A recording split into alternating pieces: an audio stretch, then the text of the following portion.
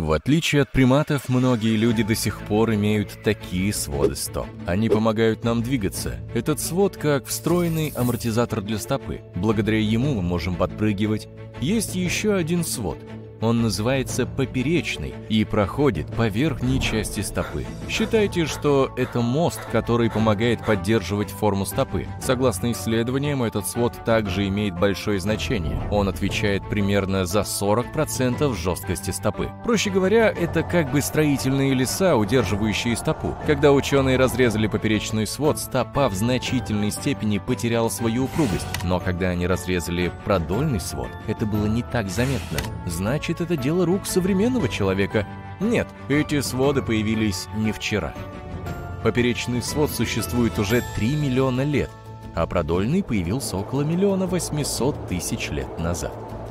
Прежде чем переходить к другим частям стопы, мы могли бы рассмотреть еще один ее элемент. Наши мизинцы более важны, чем кажется на первый взгляд. Неважно, родились ли вы без мизинца или он был потерян, вы все равно можете ходить. Но мизинцы очень важны для того, чтобы мы стояли на ногах. Они обеспечивают равновесие. Внутри стопы находится 26 костей, которые работают вместе, чтобы вы не опрокинулись. Самый маленький палец ноги – часть этой работы по поддержанию равновесия. Нашим предкам-обезьянам пальцы на ногах были нужны для того, того, чтобы хвататься, царапаться и качаться на деревьях. Сегодня мы променяли навыки лазания по деревьям на удобные диваны и просмотр сериалов. Ладно, давайте немного поднимемся наверх и поговорим об аппендиксе. Вы можете подумать, что он бесполезен, но это не так. Когда человек находится в животе у своей мамы, этот орган начинает выполнять свою работу. Примерно на 11 неделе развития в нем появляются специальные клетки, которые вырабатывают полезные гормоны и соединения. Аппендикс помогает помогает тренировать иммунную систему, превращая ее в первоклассного защитника. Кроме того, он вбирает в себя всевозможные чужеродные вещества, антигены из пищеварительного тракта. Однако по мере развития нашего рациона эта часть тела уменьшилась, как сдувшийся воздушный шар. В отличие от большинства других рудиментов, аппендикс не всегда безобиден. Он может превратиться в маленький злобный огненный шар.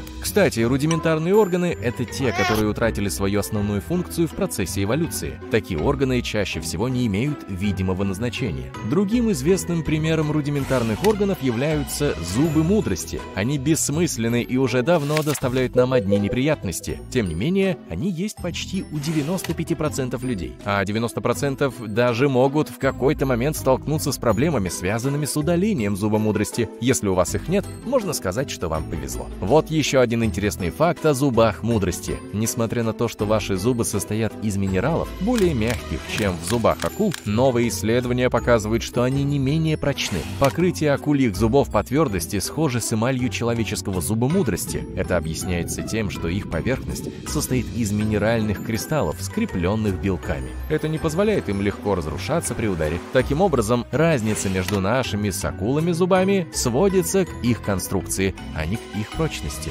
Антропологи исследовали скелеты древних людей. По их мнению, дополнительные зубы были нужны нашим предкам для пережевывания жестких продуктов, таких как корни и сырое мясо. Тогда эти дополнительные зубы были как нельзя кстати, но потом мы открыли кулинарию, и внезапно пища стала мягче, а челюсти меньше. У генетиков есть своя точка зрения на этот счет. Это ген MYH16, который, по-видимому, связан с размером мозга и характеристиками челюстей хотя его точная роль в нашей эволюции до сих пор остается загадкой. Вот вам еще одна бессмысленная вещь. Века. Ну, необычная века. Знаете, такая маленькая розовая штучка, прячущаяся в уголке глаза. Птицы и некоторые другие пушистые друзья используют ее для защиты от пыли и мусора, пытающихся испортить им зрение. А для нас, людей, это в основном рудимент. Познакомьтесь с длинной ладонной мышцей. Примерно 85% из нас до сих пор хранят ее у себя. Возможно, она есть и у вас. Проверить это можно, положив руку на ровную поверхность и заставив мизинец и большой палец соприкоснуться. Если в середине запястья вы обнаружите небольшую сухожильную полоску, значит, вы ее нашли. Она была создана для того, чтобы хватать предметы и лазать по деревьям, как Тарзан. Поговорим еще немного о захватах. Еще до рождения, примерно в 16 недель, когда вы находитесь в животе у мамы, вы уже тренируетесь в хватании. Вы начинаете с того, что хватаетесь за пуповину. Когда вы, наконец, появляетесь на свет, этот рефлекс помогает вам удерживать предметы. Забавный факт. Маленькие обезьянки, благодаря подобному трюку, могут висеть на одной руке целую вечность. А вот мы, люди, теряем эту суперхватку, когда нам исполняется 3 месяца. Когда вы еще находитесь в утробе матери, у вас также есть мини-хвост, но по мере роста он исчезает, и эти крошечные позвонки становятся копчиком или копчиковой костью. У людей и обезьян нет хвостов, как у других животных. Наши уши тоже имеют рудиментарные мышцы. Они помогают животным лучше слышать и выражать свои чувства. Но у человека они мало на что способны. Мы придумали другие способы слушать и проявлять свои эмоции. Тем не менее, некоторые из нас все еще могут пошевелить ушами, как следует потренировавшись. Удивительно, но ногти на ногах также считаются рудиментами, ведь они выполняют функцию обороны и защищают организм от вредных микроорганизмов. В процессе эволюции мы использовали ногти на руках и ногах для защиты, рытья и лазанья. В современном мире ногти по-прежнему приходят нам на помощь, будь то очистка фруктов или то сладкое ощущение, которое возникает при почесывании зудящего места. А вот ногти на ногах нам больше не нужны. Но мы можем наносить на них лак для ногтей. Если смотреть с этой стороны, они, конечно, многим подходят. Не только люди имеют бесполезные конечности или органы. В 1798 году анатом исследовал необычную птицу, не способную летать. Свои наблюдения он подробно задокументировал. Этой птицей оказался никто иной, как страус. Страусы и косауары – лишь некоторые примеры птиц, обладающих рудиментарными крыльями. С анатомической точки зрения они не способны обеспечить полет этих тяжелых существ. Тем не менее, крылья не лишены функциональности. Они служат для поддержания равновесия при быстром беге. Кроме того, с их помощью птицы привлекают потенциальных партнеров – как вы знаете, многие животные способны светиться в темноте. Около 76% морских животных, включая медуз, червей, акул и морских звезд, обладают биолюминесцентными свойствами. В их телах содержится люциферин, который вступает в реакцию с кислородом и выделяет свет. Этот свет служит животным для того, чтобы отпугивать хищников, привлекать добычу или предупреждать других об опасности. Мы, люди, тоже можем светиться. К сожалению, наше свечение очень слабое, так что глаза не могут его увидеть. Интенсивность нашего света в тысячу раз меньше, чем его можно уловить. Ученые обнаружили, что наше свечение меняется в течение дня. Утром оно самое тусклое, а после полудня самое яркое. А наши лица светятся сильнее, чем остальные части тела. По мнению специалистов, это связано с тем, что лицо чаще подвергается воздействию солнечного света и содержит меланин, компоненты которого усиливают выработку света.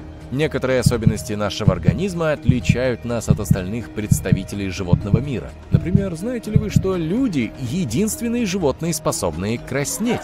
Похоже, что мы обладаем эксклюзивными правами на феномен розовых щек. Когда мы оказываемся в неловкой ситуации, наши кровеносные сосуды расширяются. Это и приводит к появлению румянца. Смущение — довольно сложная эмоция. Она связана с пониманием того, что думают о нас другие. Возможно, для других животных это слишком продвинуто. Интересно, что лысые обезьяны Уакари тоже умеют краснеть, но не в том же смысле. Для них это демонстрация хорошего здоровья.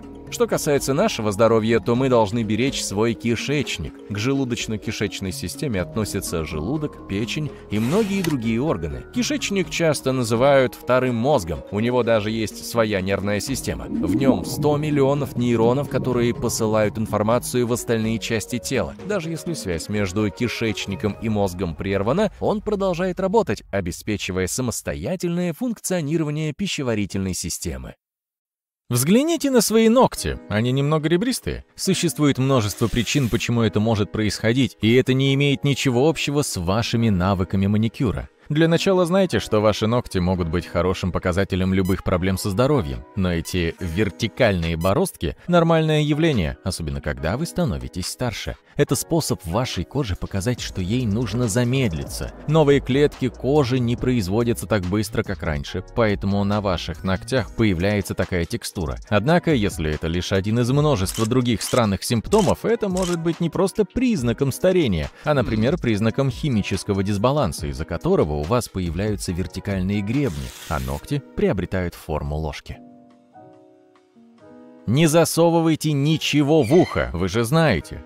Даже если вы пользуетесь ватными палочками, всегда нужно быть осторожным, иначе можно нанести большой вред. Еще интереснее то, что засовывание предметов в ухо может запустить странный рефлекс кашля, также известный как кашлевой рефлекс Арнольда. Оказывается, ухо участвует в кашле благодаря вагусу длинного пути нерва от мозга до живота. Он проходит через ухо, обрабатывает голосовой аппарат и сворачивает в желудок.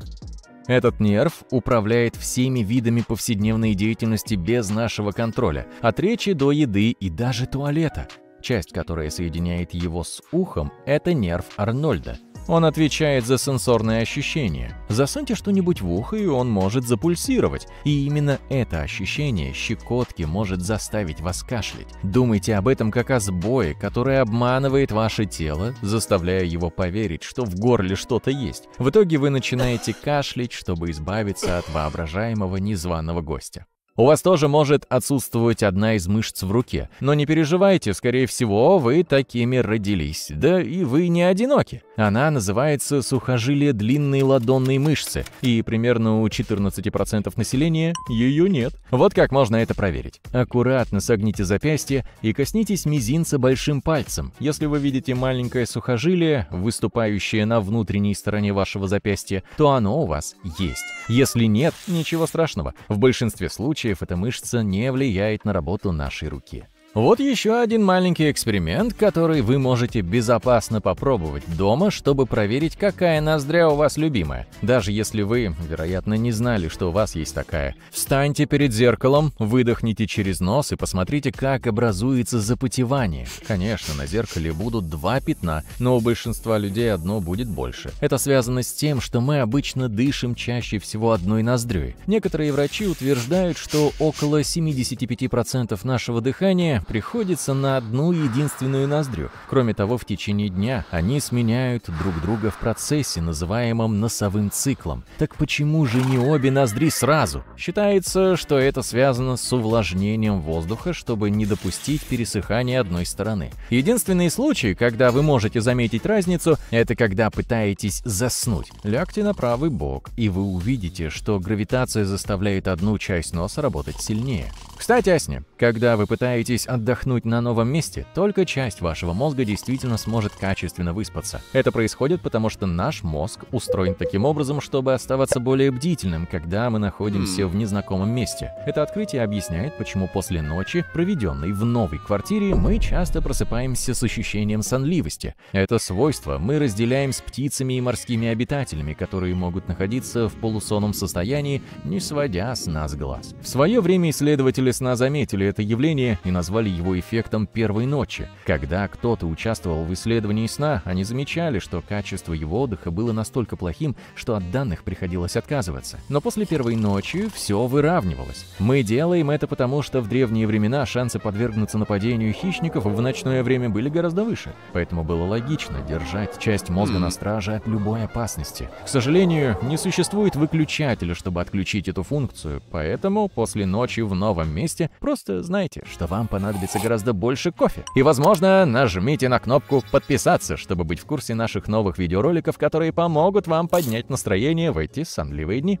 Возможно, каждый раз, когда вы готовитесь к тренировке, ваше сердце уже начинает работать активнее, хотя технически вы еще не занимаетесь. Это происходит из-за эффекта, называемого предвосхищающим подъемом. Проще говоря, ваш мозг посылает указания сердцу, приказывая ему готовиться. Эти указания поступают в виде химических веществ, таких как норадреналин и адреналин. Это полезно, потому что учащение сердечного ритма означает ежеминутный приток крови, что полезно для мышц. Усиленный кровоток доставляет кислород и готовит мышцы к необходимым нагрузкам. Чем лучше состояние вашего сердца, тем легче проходит весь этот процесс.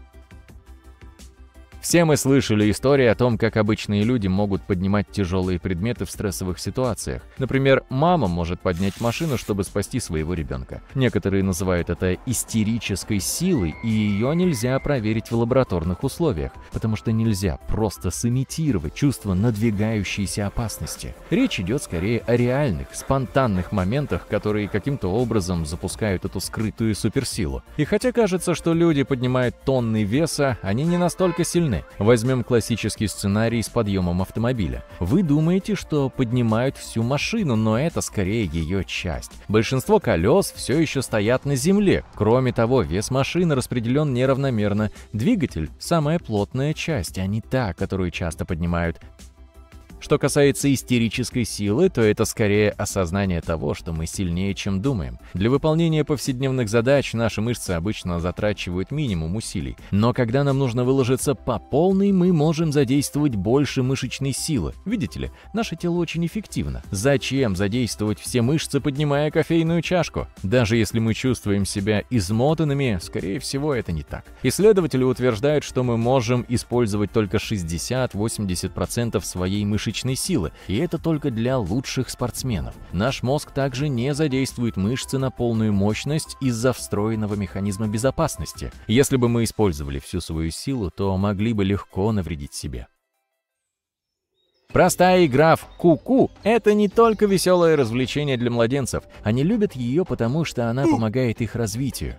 Видите ли, дело не только в том, чтобы закрывать и открывать лицо. Это помогает им лучше овладеть навыком визуального слежения. Также это полезно для понимания концепции постоянства объекта. Если они не видят что-то, это не обязательно значит, что оно исчезло навсегда. Это знание о том, что объекты существуют даже если они вне поля зрения, улучшит их навыки решения проблем, когда они станут старше. Игра в куку -ку также хороший способ упражняться в проявлении различных положительных эмоций.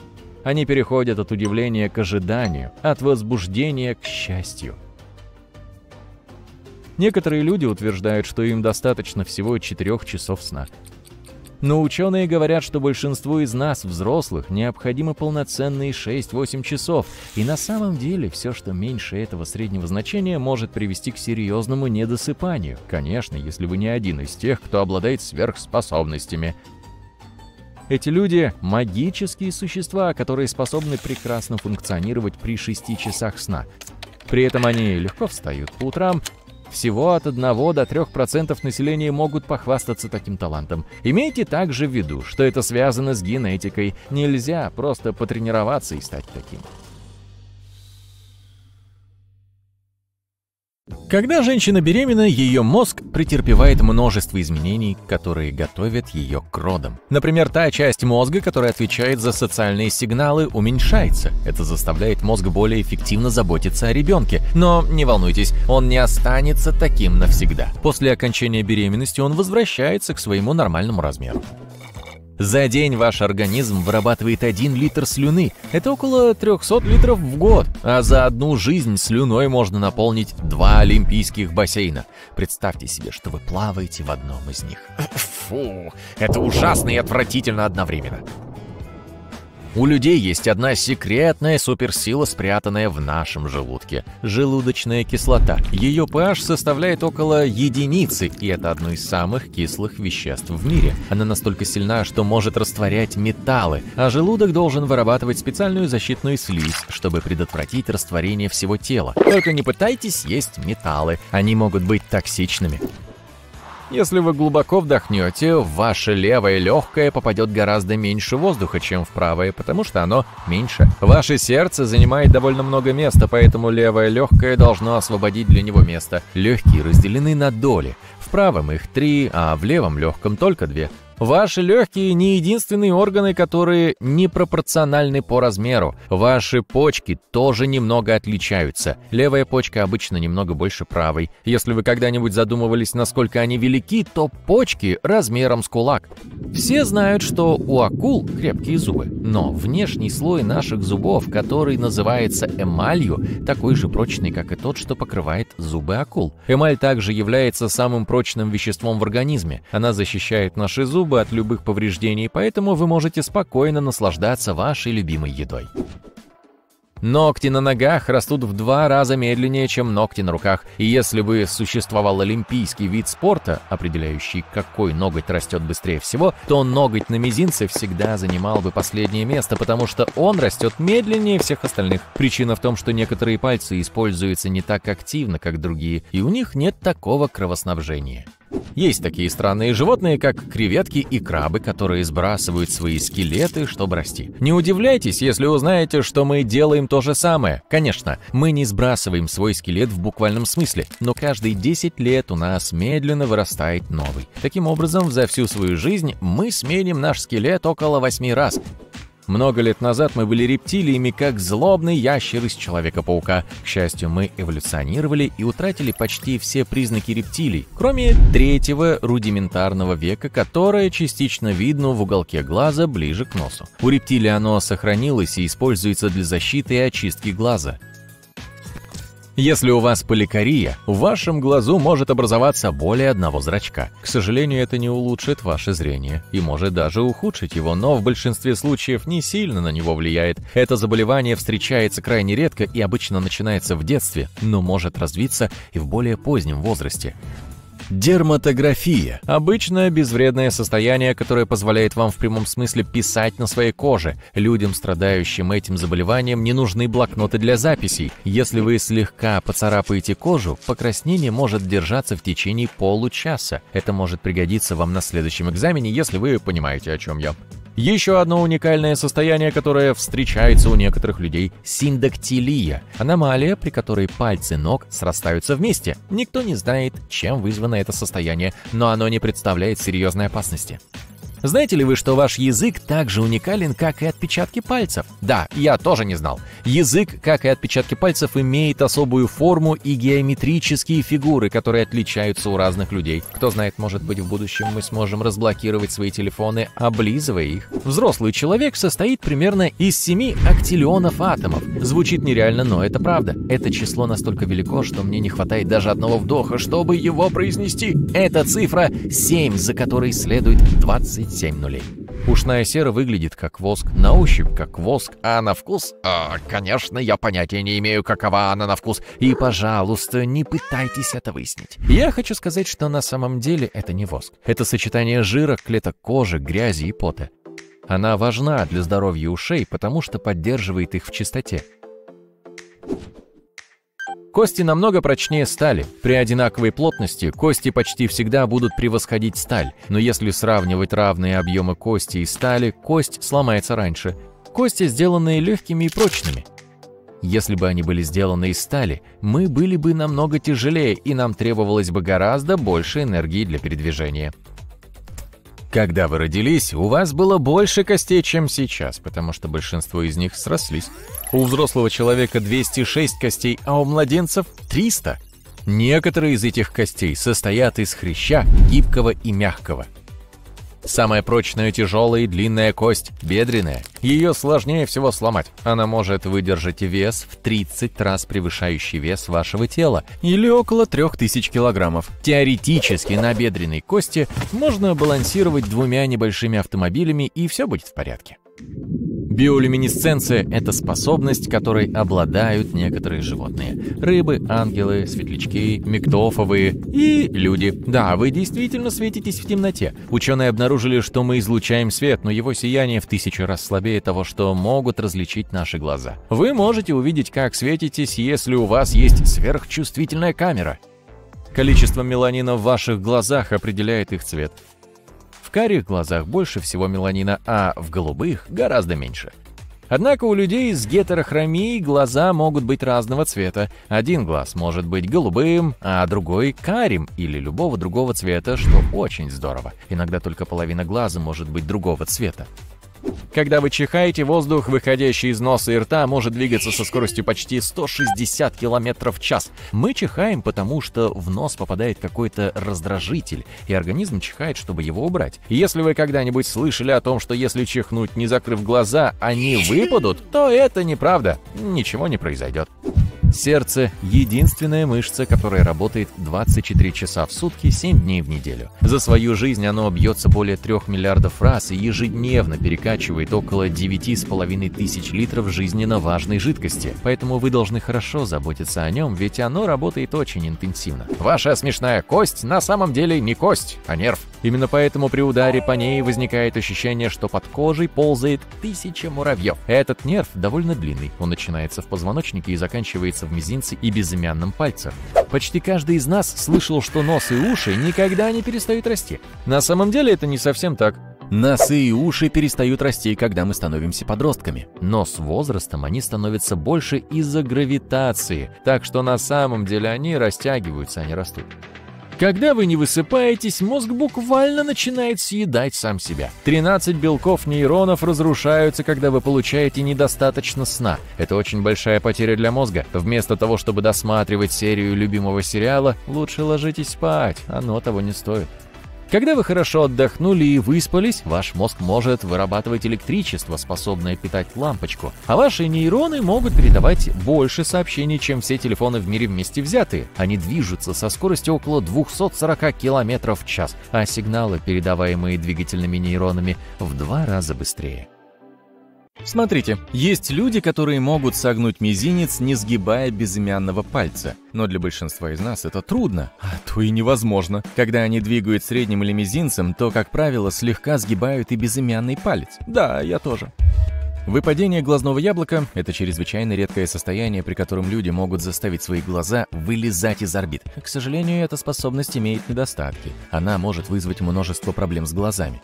Некоторые коренные народы, например, тибетцы, могут выживать на таких высотах, как Эверест. Эта редкая способность, скорее всего, появилась после многих лет эволюции. Предки современных тибетцев жили в высокогорных районах тысячи лет и выработали адаптацию красных кровяных телец, позволяющую выживать при опасно низком уровне кислорода. Баджо – морские кочевники, живущие в Юго-Восточной Азии. У этих людей развилась сверхбольшая селезенка, служащая хранилищем богатых кислородом клеток крови. Благодаря этому они легко могут провести 5-10 минут за подводной рыбалкой под водой, ни разу не вынырнув на поверхность. Примерно у 14% населения отсутствует мышца под названием palmaris longus. На самом деле это рудиментарная часть тела, и необходимость в ней отпала в процессе эволюции. Так что если у вас вас нет этой мышцы, не переживайте, ее отсутствие никак не влияет на работу вашего предплечья. Примерно у 5-37% людей зубы мудрости не растут с рождения. На самом деле эти зубы больше не нужны. Они были важны для наших предков, поскольку помогали пережевывать твердую пищу – орехи, коренья, мясо. И соленые риски. Ладно, это я придумал. Но поскольку большинство продуктов, которые мы едим сегодня, обработаны, зубы мудрости стали просто атовизмом. У большинства людей один завиток на голове, и, как правило, он закручивается по часовой стрелке. Двойная макушка встречается всего у пяти человек из ста. И если при этом оба завитка направлены против часовой стрелки, это делает человека еще более уникальным. Некоторые ученые считают, что существует генетическая связь между направлением волосяных локонов и ведущей рукой. Чуть более 8% правшей имеют завитки волос, направленные против часовой стрелки, а у левшей это число возрастает до 45%. Мозг мужчины стареет быстрее, чем мозг женщины, с возрастом у мужчин чаще начинают возникать жалобы на проблемы с памятью и недостаток концентрации. В то же время у женщин не возникает таких острых проблем с памятью, но они чаще страдают от депрессии. Хм, что бы вы выбрали? Когда человек лжет, его нос выдает его. Психологи из университета Гранада обнаружили, что когда человек говорит неправду, температура вокруг его носа и во внутренних уголках его глаз повышается – это явление получило название «эффект Пиноккио». У японцев в кишечнике обитают особые бактерии, которые помогают им переваривать суши. Японцы веками употребляли в пищу сырую водоросль. Микроорганизмы, обитающие на поверхности этой водоросли, попадали в их организмы и активно развивались. Сегодня эти бактерии помогают японцам переваривать сырую пищу и предотвращают различные проблемы, связанные с пищей. У людей на теле столько же волос, сколько и у шимпанзе. Число волос на теле человека и шимпанзе примерно одинаковое. Единственное отличие в том, что волосы на теле человека в основном бесполезны и настолько тонкие, что их почти невозможно увидеть. У людей не больше генов, чем у других видов. На самом деле у людей меньше генов, чем у червя. Томаты также обладают гораздо большим количеством генов, чем вы. Но мы такие сложные создания. Недавно ученые пришли к выводу, что количество генов в геноме не имеет тесной связи со сложностью живого существа. Давайте немного передохнем. Кстати, ваше левое легкое состоит из двух долей, а правое разделено на три части. Более того, левое легкое немного меньше, поскольку оно должно освободить место для сердца. Ваши легкие также содержат около двух с половиной тысяч километров дыхательных путей. Это чуть больше половины расстояния от Нью-Йорка до Лос-Анджелеса. В легких также расположено более 300 миллионов альвеол, маленьких воздушных мешочков в форме шарика. У людей есть пять наиболее очевидных чувств. Зрение, обоняние, осязание, слух и вкус. Но это еще не все. Как насчет терморецепции, ощущения тепла? Или ноцепции, восприятия боли? А что насчет ощущения собственного тела, проприоцепции? Чтобы понять, что это такое, закройте глаза и коснитесь носа. Получилось? Это проприоцепция в действии. Этот список мог бы быть гораздо длиннее. Некоторые эксперты утверждают, что у людей от 21 до 53 чувств. Ваши пальцы становятся морщинистыми после того, как вы слишком много времени проведете в воде. Морщинистые пальцы появляются из-за сужения кровеносных сосудов. Когда вы долгое время находитесь в воде, ваша нервная система заставляет кровеносные сосуды сужаться. Ваше тело отгоняет кровь от этой области. В результате потери крови сосуды становятся тоньше. Кожа начинает складываться, образуя забавные морщинки. Ученые считают, что этот процесс помогает нам поддерживать сцепление с другими предметами в воде. В глазах среднестатистического человека есть три вида колбочек. Эти колбочки помогают распознавать цвета в синем, красном и зеленом спектрах. Благодаря им большинство людей способны различать около миллиона различных оттенков, но у людей с тетрахроматией в глазах 4 колбочки. Эта особенность позволяет им видеть до 100 миллионов различных оттенков. Эта аномалия зрения встречается крайне редко. Причем у женщин гораздо чаще, чем у мужчин. Интересно, что большинство людей с тетрахроматией даже не подозревают, что видят мир ярче, чем другие. Не у всех людей зрачки круглые. У двух человек из каждых 10 тысяч зрачки необычной формы. Чаще всего они похожи на замочные скважины. Это глазное заболевание называется колобомой. Интересно, что некоторые люди с этой особенностью не испытывают проблем со зрением. От 3 до 22% людей в мире имеют палец Мортона. Это особенность строения стопы, при которой второй палец длиннее первого.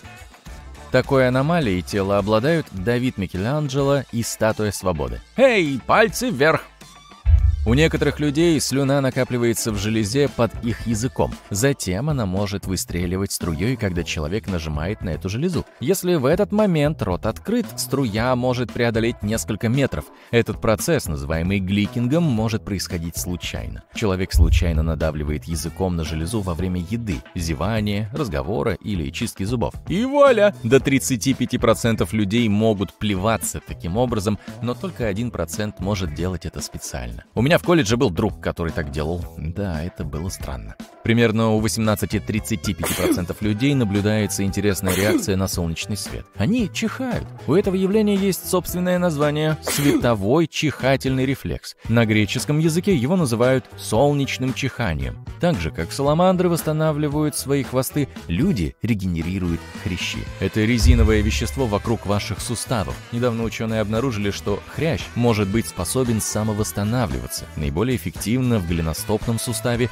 не так хорошо в коленом и наименее эффективно в тазобедренном. Человеческий мозг на 73% состоит из воды, точно так же, как и ваше сердце. Вот почему, если ваш мозг теряет даже 2% жидкости, вы начинаете чувствовать усталость. Из-за этого ухудшается память, снижается концентрация внимания и портится настроение. Так что пейте больше воды. Ваш мозг постоянно обрабатывает тонны визуальной информации, около 600 миллионов бит в минуту. Все начинается, когда свет проходит через роговицу, защитный внешний слой вашего глаза. Затем свет превращается в электрические сигналы, они передаются в ваш мозг, и он интерпретирует их в изображения, которые вы видите. На этот сложный процесс уходят миллисекунды.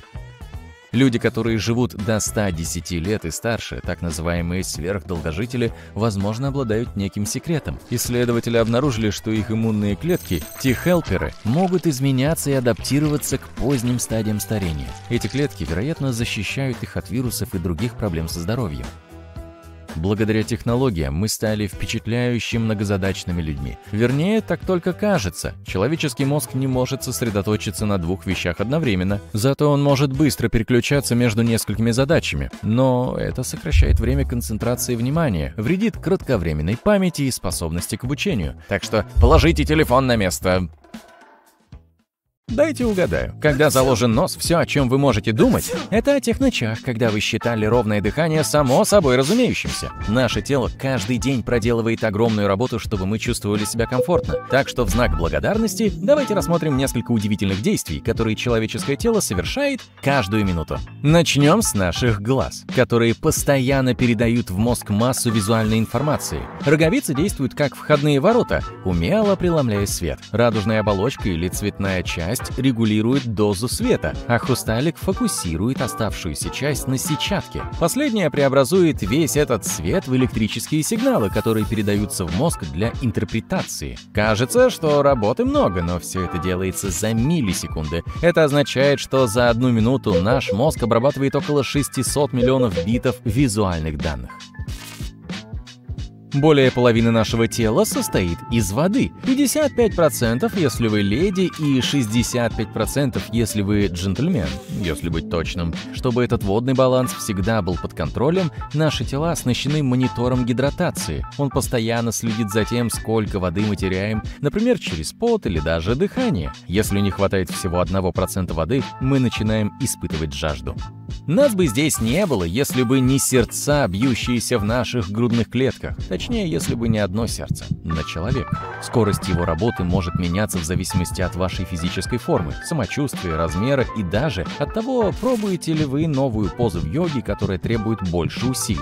В среднем, по мнению врачей, в состоянии покоя у взрослого человека от 60 до 100 ударов сердца в минуту. Чем лучше ваша физическая форма, тем меньше нагрузка на сердце, и в итоге частота сердечных сокращений может достигать 40 ударов в минуту. Каждый раз, когда этот орган делает небольшой толчок, он прогоняет по телу около 70 мл крови. Если ваш пульс в состоянии покоя составляет 80 ударов в минуту, то каждые 60 секунд сердце прогоняет 5,5 литров крови.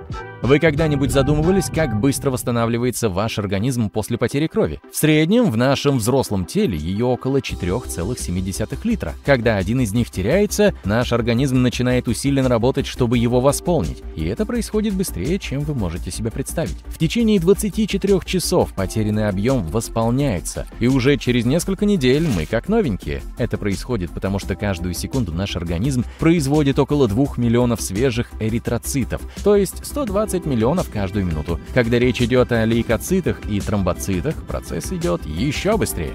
Наш механизм дыхания тоже удивительный. Взрослые люди обычно делают от 12 до 20 вдохов в минуту. У младенцев, однако, этот показатель быстрее, от 30 до 60.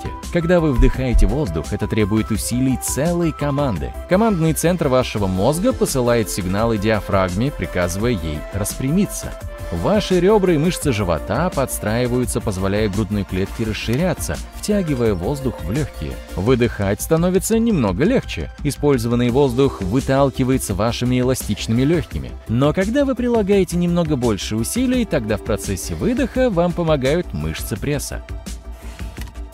Когда речь идет о чтении, наш мозг способен ускорить этот процесс, иногда доходя до тысячи слов в минуту. Если посчитать, это означает, что ваш мозг может прочитать книгу в 300 страниц всего за 2,5 часа. Интересная особенность процесса чтения заключается в том, что наш мозг не обязательно делает это по прямой линии. На самом деле, наши глаза совершают уникальные движения, называемые сакадами. Это быстрые прыжки по тексту туда и обратно. Иногда это большой скачок, иногда крошечный прыжок. Они помогают нам быстро впитывать тонны информации и происходят несколько раз в секунду. Насколько большим или маленьким будет прыжок, зависит от того, насколько хорошо мы умеем читать и насколько хорошо знакомы с темой. Хотите узнать больше о самых разных темах, таких как наука, поп-культура или история? Не забудьте подписаться, чтобы всегда быть в курсе наших последних видео.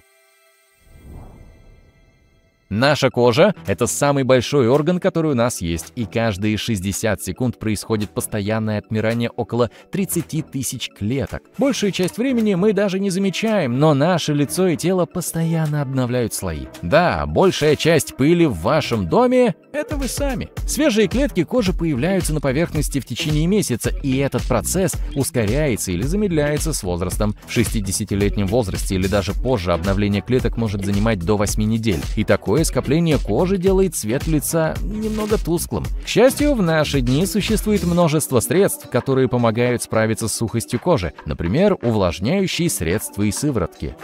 Вы не можете говорить, не используя язык. Точнее, технически можете, но большинство людей не поймут ни слова из того, что вы говорите. В любой день наш язык вместе с губами и зубами превращает горловые звуки в слова, которые имеют смысл. Сам язык гибкий и быстрый. Он способен произносить более 90 слов в минуту, используя при этом более 20 различных движений. Хотя мы можем издавать звуки без использования языка, он нам необходим для произношения согласных, таких как Т, Д, Л и R. Или, если вы пират, Арр. Этот важный орган — та же причина, по которой попугаи так легко могут нас имитировать. Хотя большинство из них не понимает, что они говорят. У этих птиц толстый язык, и хотя у них меньше мышц, это помогает им довольно точно подражать человеческой речи. Поэтому будьте осторожны с тем, что вы говорите рядом с ними. Люди моргают от 15 до 20 раз в минуту. Не так уж и много, но если посчитать, около 10% времени бодрствования мы проводим с закрытыми глазами. Многие годы ученые считали, что моргание служит единственной цели – сохранить глаза влажными. Именно для этого, кстати, мы и производим слезы. С помощью век они немного прикрывают глазное яблоко, предотвращая чувство зуда. Однако моргание – это нечто большее. Исследование, проведенное в прошлом десятилетии, показало, что когда мы моргаем, наш мозг нажимает кнопку мини-перезагрузки. Он отключает некоторые части, связанные со зрением и вниманием. А поскольку внимание влияет на восприятие времени, моргания могут быть для нашего мозга чем-то вроде путешествия во времени или коротким временем отдыха, если хотите. Среднем у людей возникает около 35 до 48 мыслей в минуту. Это зависит от множества факторов, например, от наших переживаний, чувств и даже от того, где мы находимся. Когда речь заходит о формировании мыслей, мы знаем, что клетки мозга могут общаться. Но как именно идеи появляются в нашем сознании, до сих пор остается загадкой. Наш мозг состоит из множества нейронов, этих удивительных клеток, передающих электрические заряды, чтобы общаться друг с другом. Именно Нейроны выделяют в мозг химические вещества, называемые нейромедиаторами. Это как передача записок, которые создают электрические сигналы, и когда эти сигналы проходят через тысячи нейронов, в нашей голове словно волна возникают мысли. Каждый раз, когда вы перекусываете, вы подпитываете электростанцию, то есть ваше тело. Одна калория из пищи – это около 4200 энергетических единиц, называемых джоулями. Если вы съедаете 2000 калорий в день, то каждую минуту вы превращаете их почти в 6000 джоулей. И вот как все происходит. После того, как вы поели, пища проходит через рот, спускается в желудок и постепенно распадается на мелкие частицы в вашем кровотоке. Представьте себе крошечные грузовики, доставляющие кислород и другие полезные вещества к вашим клеткам. Внутри этих клеток находятся мини-заводы, называемые митохондриями. Они отвечают за превращение этих грузов в аденозин-трифосфат или АТФ. Это энергетическая валюта наших клеток. Она используется для создания новых клеток клеток, помогает нам двигаться и даже посылать электрические импульсы другим клеткам. Что ж, все эти факты однозначно заставляют меня быть добрее к своему телу за все, что оно делает. А как насчет вас? Можете говорить громче? А то я только что съел целую пиццу. Оказывается, после плотного обеда наш слух становится хуже — процессе пищеварения большая часть кровотока направляется к желудку. В следующий раз, когда пойдете на концерт любимой группы, съешьте что-нибудь легкое. Наряду с желудком и левой почкой у нас есть орган, который может восстановиться, если удалить его часть. Это печень. Она имеет способность к регенерации благодаря производству новых клеток, гепатоцитов, которые начинают размножаться при ее повреждении. От степени повреждения зависит, сможет ли печень восстановиться полностью и сколько на это уйдет времени. Как думаете, что хуже? Отсутствие сна или еды? Оказывается, недостаток сна опаснее, потому что если вы не отдыхаете, тело подвергается гораздо большему риску. Через 24 часа без сна у вас могут начаться проблемы с памятью и концентрацией внимания. Уже через 17 часов вы будете чувствовать себя усталым, раздражительным и напряженным. Мне нужно вздремнуть. Болевые рецепторы становятся более чувствительными, и все неприятные ощущения усиливаются. Кстати, слух тоже ухудшается. Что-что? Кстати, вы можете спокойно провести 24 часа без пищи, прежде чем тело поймет, что вы перестали есть. Первые 8 часов вы будете переваривать то, что съели. После этого организм начнет использовать накопленные жиры для получения энергии. Если голодать больше суток, организм будет съедать собственный белок. Вы начнете терять мышечную массу. Пить дождевую воду небезопасно, потому что в ней могут содержаться бактерии и вирусы, а в сильно загрязненных районах даже токсичные вещества. К сожалению, некоторые люди на планете имеют доступ только к дождевой воде. Но есть ли у нее полезные для здоровья свойства? Судя по современным исследованиям, вряд ли. Некоторые вредные вещества исчезают после кипячения. Но на всякий случай лучше пить воду только из проверенных и безопасных источников. Пот помогает нам регулировать температуру тела и создает дополнительную влагу, например, на ладонях, если нам нужно что-то схватить. Но пот не просто так появляется на коже. Он выходит из примерно 5 миллионов пор на теле. Каждый день мы наступаем на четверть своих костей. В нашем теле чуть больше 200 костей, и около четверти находится в маленькой и удивительной области – в ступнях. У нас по 26 костей в каждой стопе, то есть 52 кости в общем. Мы плачем, чтобы слезы могли защитить глаза от инфекций, убрать соринки, дым или пыль. Или если нас кто-то огорчил. Но знаете ли вы, что в год мы производим около 115 литров слез? Этого хватит, чтобы наполнить ванну. Ну и ну, кто бы мог подумать? Кровяное давление просыпается раньше нас на несколько часов, потому что утром организм вырабатывает много гормонов, например, адреналин и норадреналин. Они придают нам заряд бодрости, в котором мы так нуждаемся утром, но также повышают кровяное давление, обычно с 6 утра и до полудня. Поскольку ночью мы спим и не занимаемся физической активностью, показатели кровяного давления падают на 20%. И снова о важных жидкостях. На кровь приходится около 10% общей массы тела, мы привыкли думать, что вес нашего тела составляют мышцы, запасы жира и кости, но это не все. У здорового взрослого человека 15% общей массы тела приходится на кости. Мышцы составляют 40-45%, жировые отложения около 15%, а остальное – это кожа, сухожилия, волосы и прочее. И все это в сумме составляет, да, 100%. Ваши легкие не идентичны, у них разный вес и форма. Например, правое легкое больше левого, все из-за сердца, которое немного наклонено влево. Из-за этого в левом легком образуется углубление, которое называется сердечным вдавлением. Правое легкое больше, но немного короче, чтобы освободить место для печени. Ей ведь тоже надо где-то жить. Многие параметры вашего тела совпадают. Если вы вытянете руки в стороны и измерите расстояние между ними, то получите свой рост. Основываясь на похожих измерениях, специалисты выдвигают предположение о том, как выглядели древние люди. Похоже, мы эволюционировали, чтобы стать симметричнее, казаться красивее и здоровее, и в результате привлекать партнеров.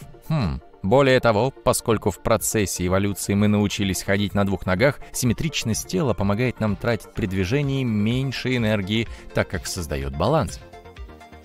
В области обоняния пальма первенства явно принадлежит не людям, но мы способны различать около триллиона запахов. Исследования этого феномена все еще идут, и ученые считают, что это число может быть выше.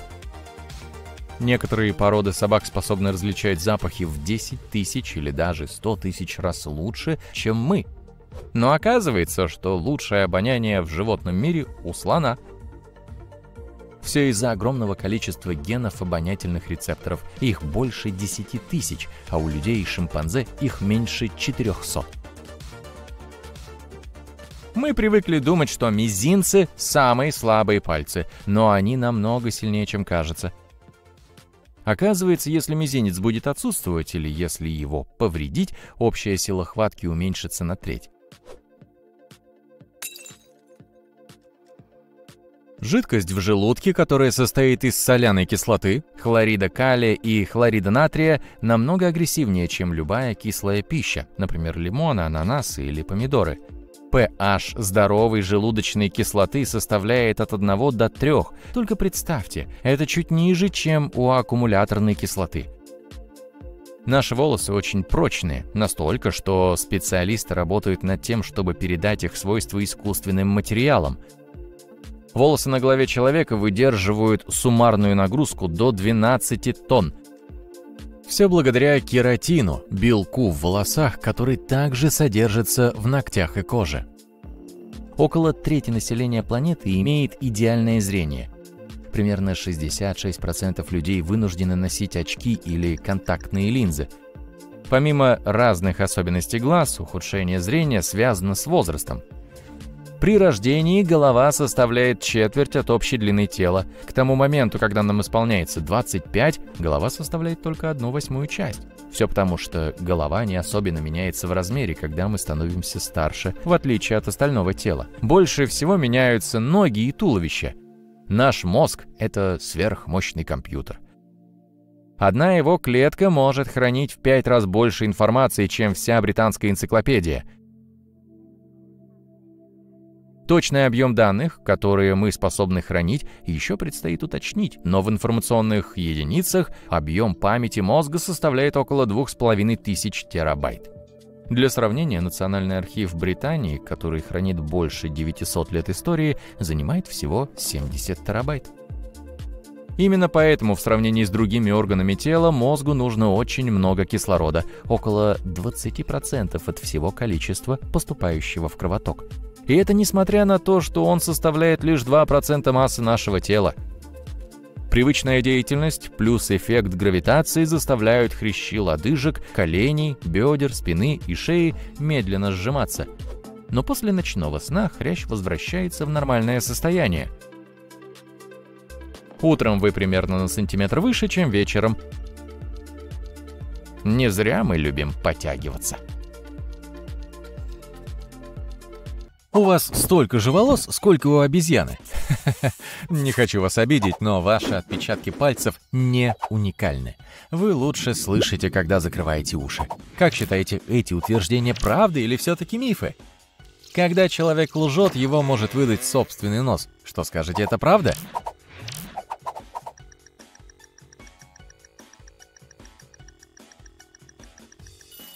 Да, исследователи из университета Гранада обнаружили, что когда человек говорит неправду, температура вокруг его носа и во внутренних уголках глаз повышается. Это явление получило название «эффект Пиноккио».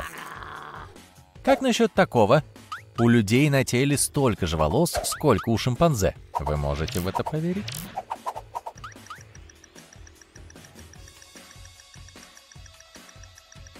Удивительно, но и это правда.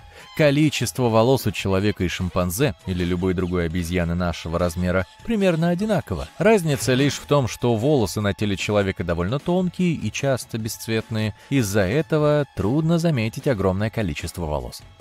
Ваши легкие идентичны. Звучит разумно. Но так ли это?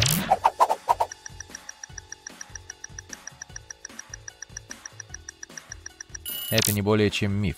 Ваша левая легкая состоит из двух долей, а правая — из трех. Кроме того, левая легкая немного меньше, иначе сердцу было бы тесно. Кстати, ваши легкие также содержат около двух с половиной километров дыхательных путей. Это больше половины расстояния между Нью-Йорком и Лос-Анджелесом. В легких также имеется более 300 миллионов альвеол, крошечных воздушных мешочков в форме шариков.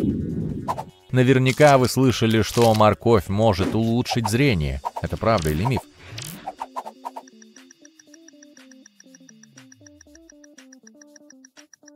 К сожалению, это миф. Морковь также не подарит вам ночное зрение. Она действительно богата витамином А, который приносит пользу организму и защищает глаза. Но морковь не спасет вас от ношения очков, если они уже вам требуются. Некоторые люди чихают, когда смотрят на солнце. Так ли это?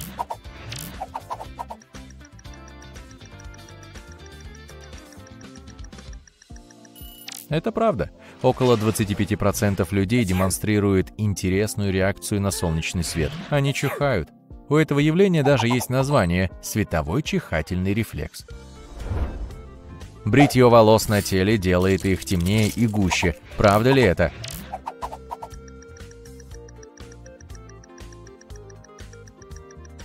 Не волнуйтесь, это всего лишь миф. Может показаться, что после бритья волосы на теле меняют толщину, скорость роста или даже цвет. Но это иллюзия. После бритья волосы отрастают с тупыми кончиками, поэтому выглядят более грубыми и темными, чем обычно. Но в скором времени они начнут выглядеть так же, как и до бритья.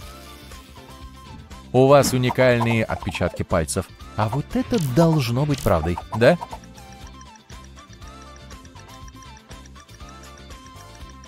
Проблема в том, что ученые не могут доказать, что каждый набор отпечатков пальцев абсолютно уникален. Похоже, что утверждение правдиво, но проверить это невозможно. В теории можно найти людей с одинаковыми отпечатками, хотя шанс очень мал.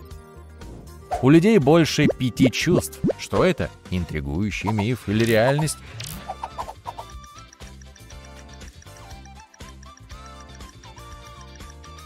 Существует пять наиболее очевидных чувств – зрение, обоняние, осязание, слух и вкус. Но как насчет термоцепции – ощущение тепла, ноцицепции – восприятие боли, или восприятие своего тела – проприоцепции – Закройте глаза и потрогайте свой нос. Получилось? Это и есть проприоцепция в действии. Список может быть гораздо длиннее. Некоторые эксперты утверждают, что у человека от 21 до 53 чувств.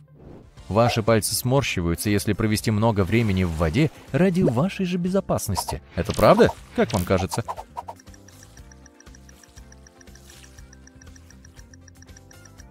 Ученые считают, что так и есть. Но сначала о главном. Пальцы сморщиваются из-за сужения кровеносных сосудов. Когда вы долго находитесь в воде, ваша нервная система заставляет кровеносные сосуды сужаться. Тело оттягивает кровь от этого участка. В результате сосуды становятся тоньше. Кожа начинает складываться над ними, образуя забавные морщинки. Ученые не уверены на 100%, но предполагают, что этот процесс происходит для того, чтобы улучшить сцепление ваших мокрых рук и ног с поверхностью. Люди используют только 10% своего мозга. О, как бы я хотел, чтобы это был всего лишь миф.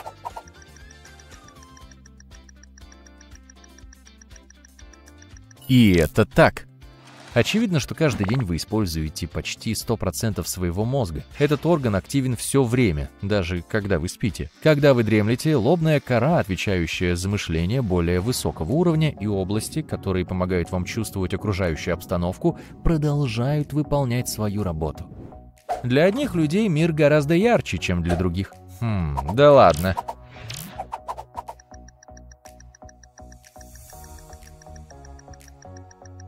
Это действительно так. В глазах обычного человека есть три вида колбочек. Эти колбочки помогают распознавать цвета в синем, красном и зеленом спектрах. Благодаря им большинство людей могут различать около миллиона оттенков. Но у людей с тетрахроматией в глазах 4 вида колбочек. Эта особенность позволяет им видеть до 100 миллионов различных оттенков. Подобная аномалия зрения встречается крайне редко, и у женщин она бывает чаще, чем у мужчин. Но знаете, что самое забавное? Большинство людей с тетрахроматией даже не подозревают, что видят мир ярче, чем другие. Иногда, закрыв уши, можно слышать лучше. Звучит странно, но вдруг это правда?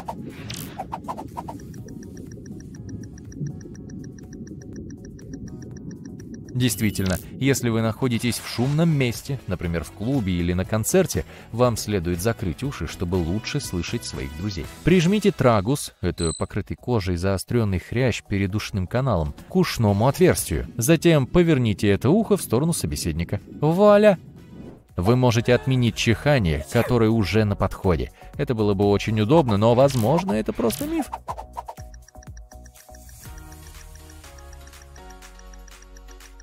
Это правда. Если вы не хотите чихать, нажмите пальцами на кожу на переносице. Когда вы это сделаете, мозг получит сигнал тревоги. Он немедленно затормозит все лишние процессы, включая рефлекс чихания. Хорошо, вы собираетесь досмотреть сезон любимого сериала сейчас, а отоспаться потом. Но возможно ли это?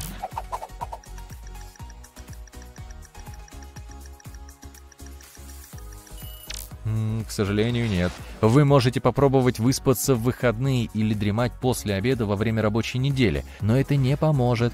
Ваше тело работает по-другому. Если накануне вы не спали или легли слишком поздно, попытка отоспаться потом не спасет ситуацию. Хуже того, слишком много сна заставит вас чувствовать себя вялым. У некоторых людей больше ребер, чем у других. Это миф?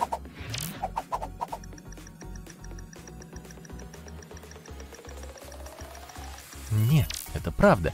У большинства людей 12 пар ребер, то есть всего их 24. Но у одного из 200 человек есть дополнительное 25 ребро. Оно называется шейным и образуется у основания шеи над ключицей. Оно может расти слева, справа или даже с обеих сторон тела. Люди, у которых есть лишние ребра, чаще всего не догадываются об этом, потому что лишнее ребро редко формируется полностью и скорее напоминает тонкую ниточку ткани. В таком случае вы не увидите его даже на рентгеновском снимке, между обедом и купанием необходимо выждать хотя бы полчаса. Звучит разумно, но так ли это?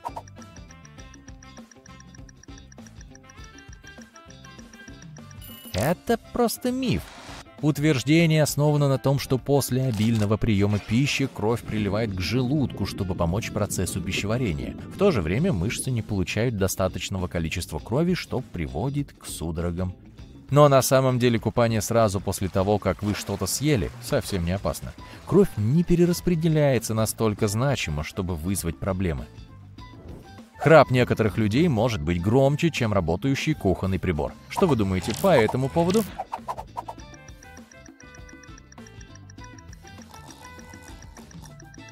В среднем человек храпит с громкостью не больше 60 дБ, что соответствует громкости разговора но иногда уровень шума может достигать 80 дБ, как у работающего блендера. Не у всех людей круглые зрачки. Может ли это быть правдой?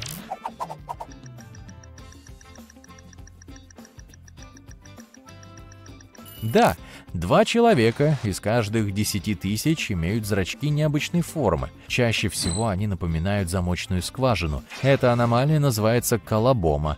У некоторых людей с этим состоянием нет никаких проблем со зрением.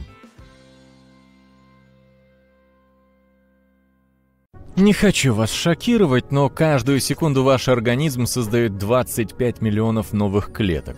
Это означает, что примерно за 15 секунд вы произведете больше клеток, чем живет людей в США. Подумайте об этом в следующий раз, когда вам покажется, что вы недостаточно продуктивны. На наш мозг приходится всего 2% массы тела, но он потребляет 20% крови и кислорода. Наш мозг также может вырабатывать энергию, достаточную для питания лампочки, когда мы бодрствуем. Вы когда-нибудь задумывались, какой орган у человека самый большой? Это кожа, и она наиболее толстая на ладонях и подошвах ног. Знаю, я тоже ненавижу вытирать пыль, но вы частично ответственны за пыльный слой на экране телевизора.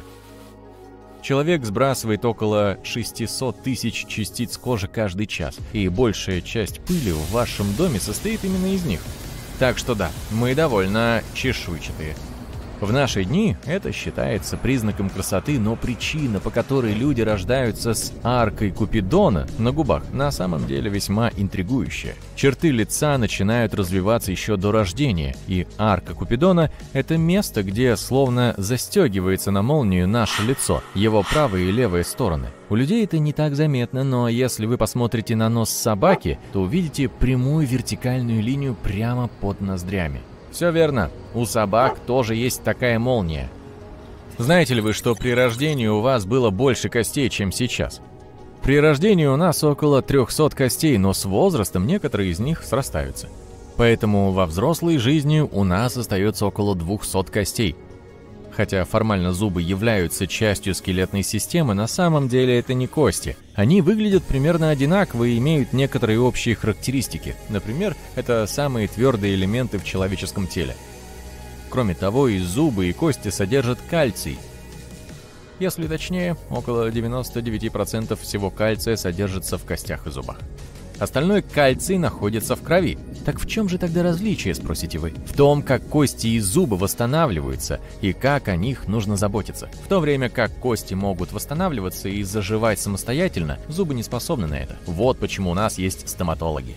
У нас есть не только уникальные отпечатки пальцев, наши языки тоже единственные в своем роде. Исследования показали, что около 10 тысяч вкусовых рецепторов на наших языках расположены по уникальной схеме, характерной для каждого из нас. Около 80% того, что вы считаете вкусом, на самом деле является запахом. Комбинация вкуса и запаха, которую мы воспринимаем, и есть то, что мы называем вкусом. Возможно, дело в том, что наше обоняние примерно в 10 тысяч раз сильнее, чем чувство вкуса.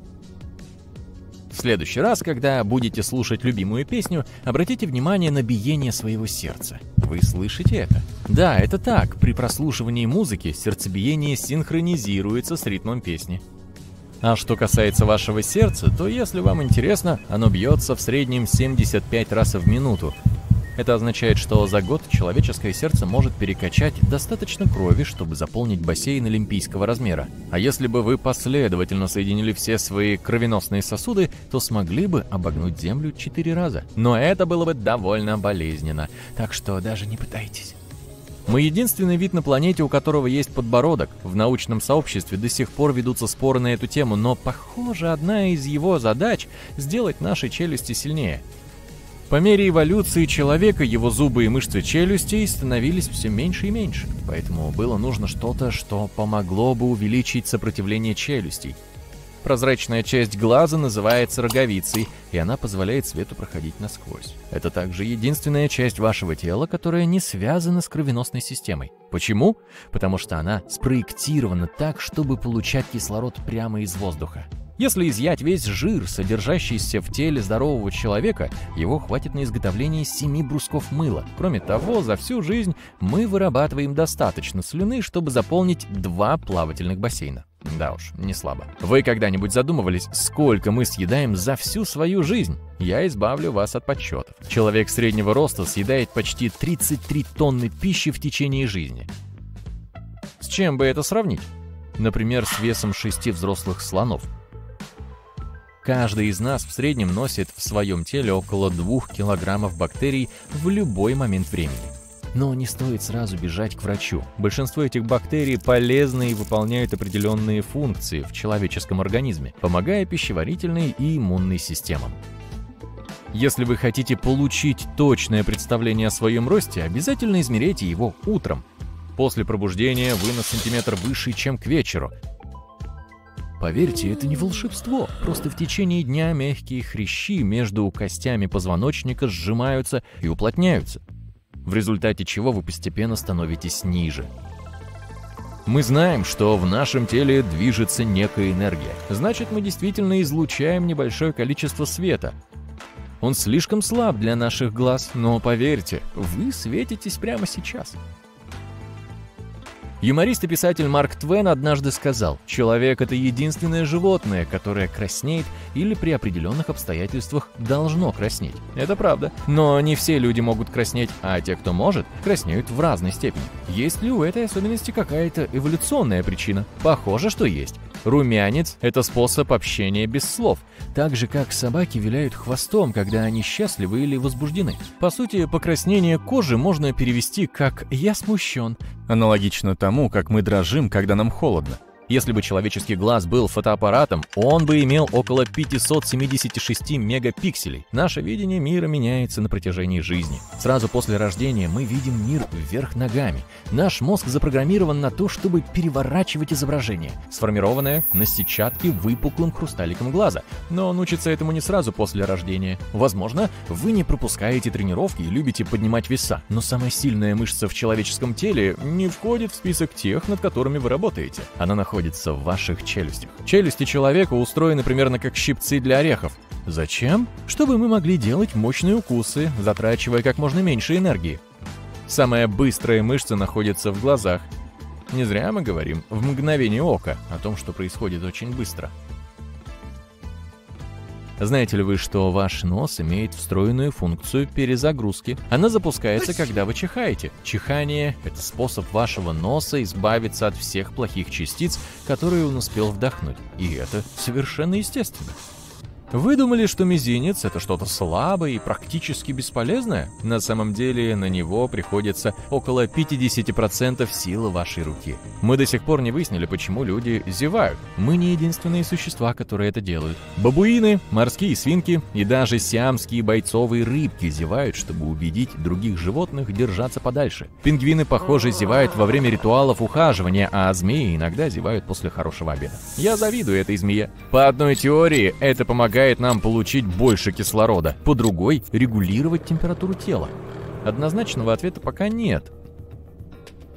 Уши и нос — единственные органы, которые продолжают расти на протяжении всей нашей жизни. Наши глаза остаются более или менее одинакового размера по мере взросления. Роговица глаза достигает своего полного размера к трехмесячному возрасту.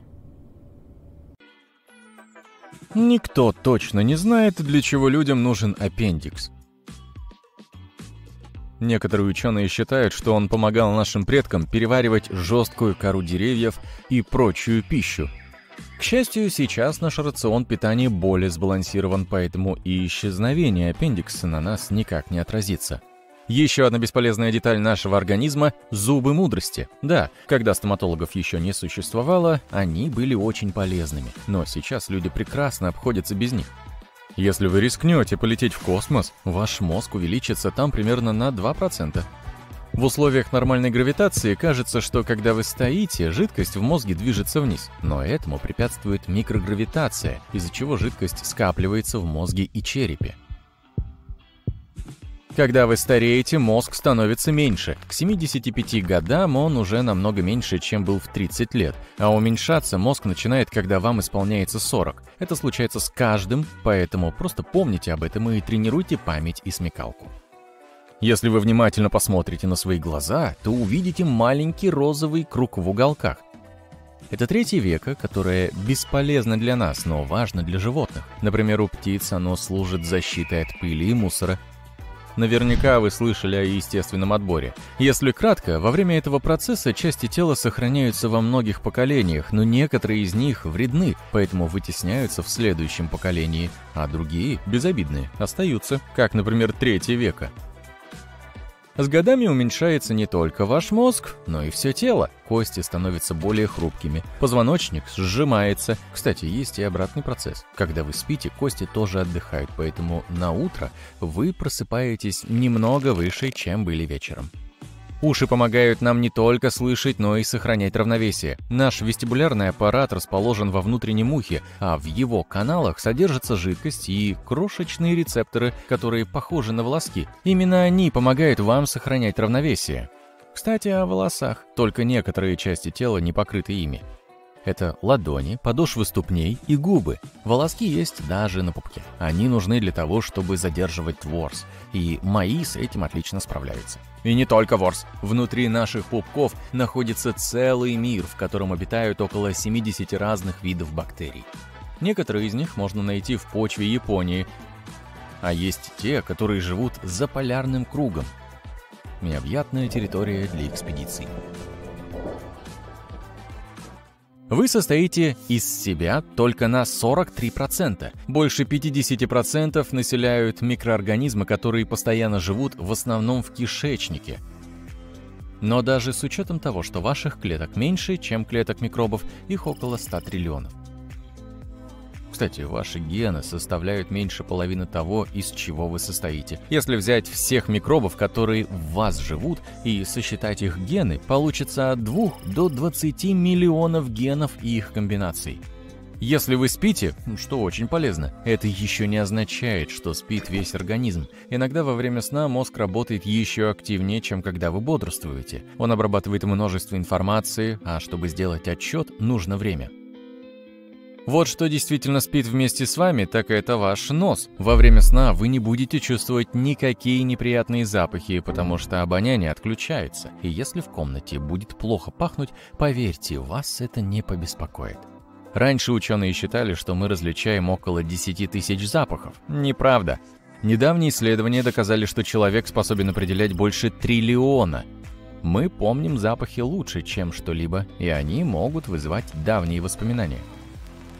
Кстати, наши самые яркие и эмоциональные воспоминания зачастую неправдивы. Так работает центральная память. Она дает нам уверенность в том, что все, что мы помним, происходило на самом деле, даже если это не совсем так. Вы не против, если я назову вас млекопитающим? Так вот, из всех млекопитающих только люди могут ходить на двух ногах всю жизнь.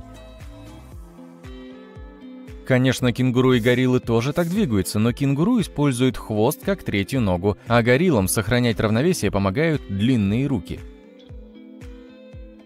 Ваши кости тоже принимают участие в метаболизме. В основном они состоят из кальция, и когда в крови этого элемента недостаточно, кости начинают его выделять, чтобы сбалансировать состояние организма. И наоборот, если кальция в крови слишком много, он уходит в кровь и хранится там.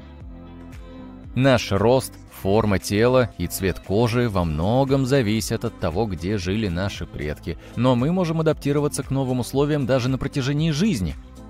Если вы перебираетесь с равнин в горы, у вас в крови образуется больше эритроцитов, которые компенсируют недостаток кислорода. А если вы смените холодный климат на теплый, ваша кожа понемногу будет менять цвет, чтобы адаптироваться. Клетки программируют длительность нашей жизни. Они постоянно обновляются и делятся, но существует некий таймер, который в один момент останавливается. Некоторые клетки прекращают образовываться раньше, чем другие. В среднем клетки прекращают делиться, когда нам исполняется 100 лет. И если найти способ их обмануть, возможно, мы могли бы жить вечно. Но, увы, морщины бы никуда не делись. Жировая ткань помогает нам сохранять тепло, энергию и амортизирует удары. Больше всего жира расположено в области талии, поскольку именно там находятся важные внутренние органы. Если с вами что-то случится, слой жировой ткани может защитить их от серьезных повреждений. Череп – это не одна кость, он состоит из 22 частей, большая часть из которых защищает ваш мозг. Только нижняя челюсть крепится к голове при помощи ткани и мышц. Именно поэтому вы можете двигать ею как захотите. А самая маленькая кость в теле находится внутри уха. Она называется слуховой косточкой, а ее размеры не превышают зернышко риса. Самые сильные мышцы в вашем теле находятся не на руках или ногах, а на голове. Жевательная мышца нужна нам для того, чтобы нормально есть. А знаете ли вы о мускулах, которые позволяют двигать ушами? Они называются височными мышцами и тоже помогают нам в процессе жевания. Еще у нас есть две очень быстрые мышцы. Они контролируют то, как мы закрываем глаза. На самом деле это самые быстрые мышцы нашего организма. Глаза – очень уязвимая часть тела, которая нуждается в защите. Когда срабатывает рефлекс, мышцы закрывают глаза меньше, чем за десятую долю секунды мы распознаем только багрово-синий, желто-зеленый и желтовато-красный оттенки. Все остальное — их комбинации. Невозможно сосчитать, сколько оттенков может видеть человек, потому что у каждого из нас разное зрение, но в среднем это около миллиона комбинаций. Вместимость нашего желудка впечатляет. В него может войти почти 2 литра жидкости. Это большая бутылка Кока-Колы.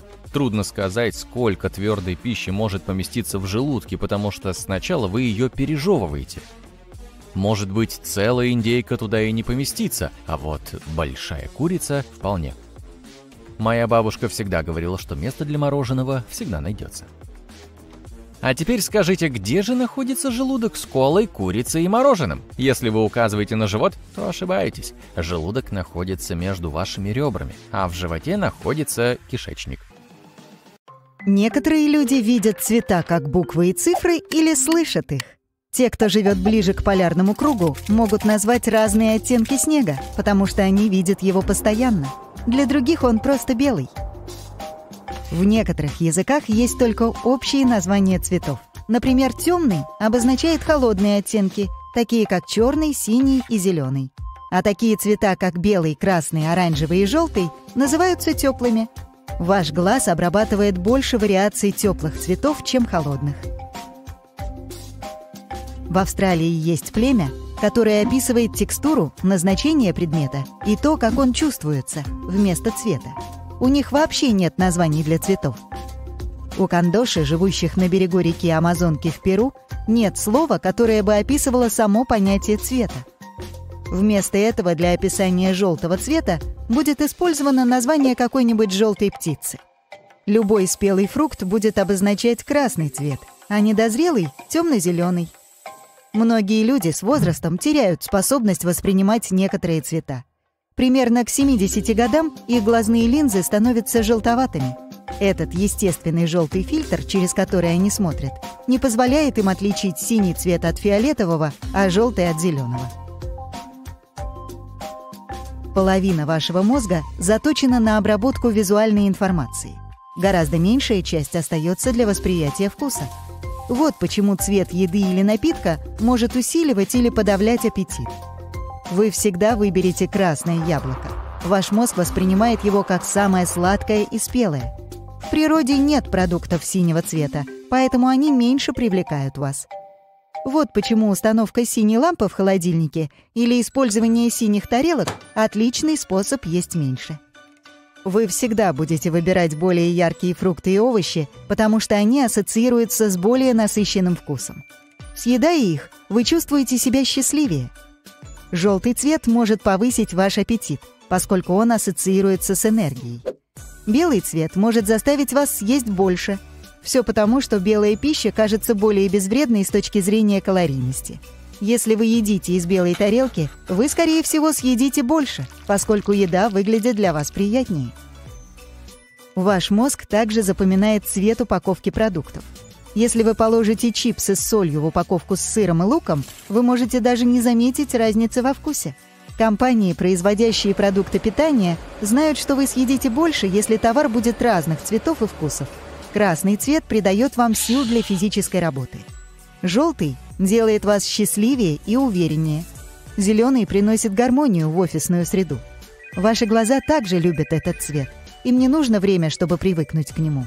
Оранжевый дает вам ощущение комфорта и тепла, поэтому он идеально подходит для комнаты отдыха. Птицы, рыбы и многие млекопитающие видят весь цветовой спектр во всем его великолепии, так же, как и люди. Для некоторых животных распознавание цветов крайне важно. Без него они не смогут отличить спелый красный фрукт от недозрелого зеленого. Всякий раз зевая, мы задействуем мышцы рта и языка и можем ненароком сжать железы, вырабатывающие слюну.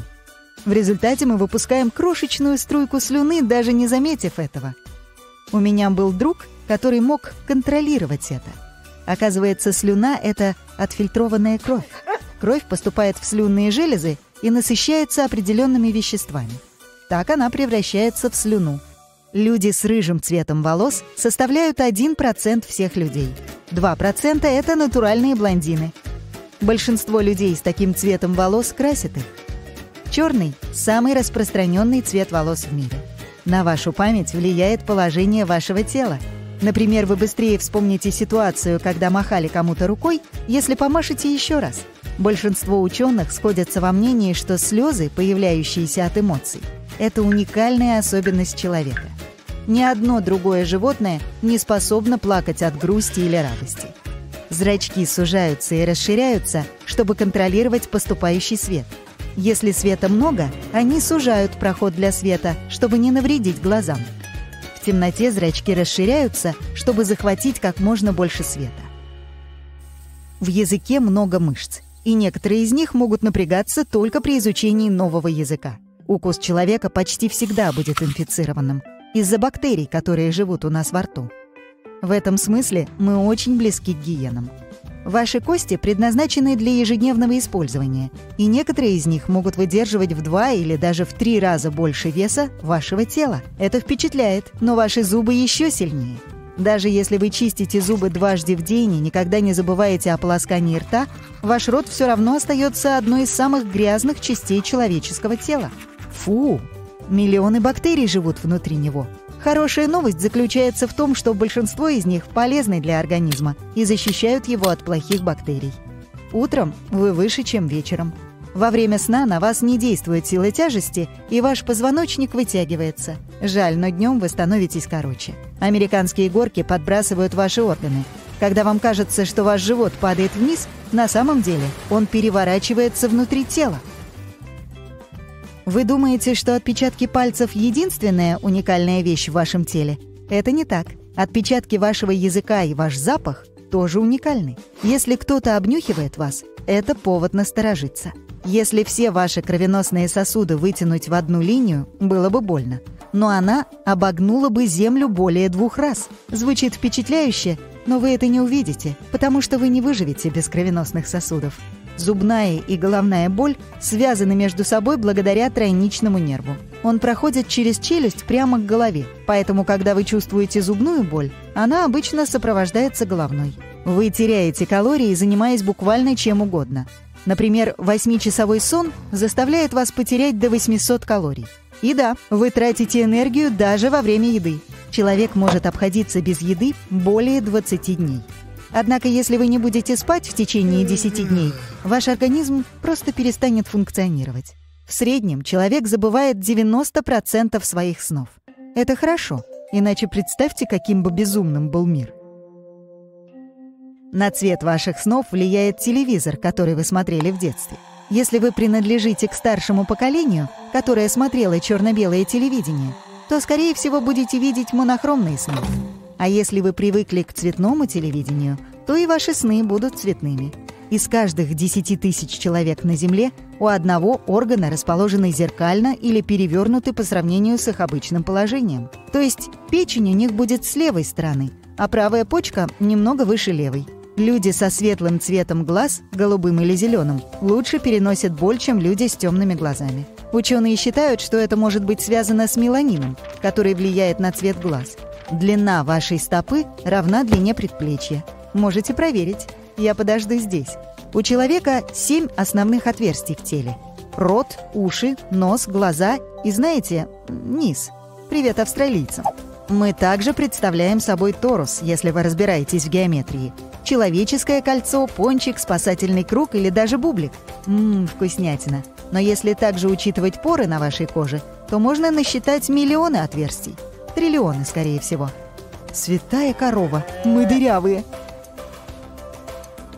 Наши тела испускают тепловое излучение в виде крошечного количества света. Он в тысячу раз менее заметен, чем обычный свет. Вдохните глубоко через нос. Воздух проходит только через одну ноздрю за раз, и наши ноздри делают это по очереди. Наш мозг сообщает нам, когда нашему телу больно, но сам он не чувствует боли. В мозге нет болевых рецепторов. Ощущение, что ваш желудок поднимается, это то, что происходит на самом деле. Каждый человек имеет уникальный запах, за исключением однояйцевых близнецов. У них одна и та же ДНК и один и тот же запах. Наши отпечатки пальцев нужны не только для того, чтобы опознать нас в полиции.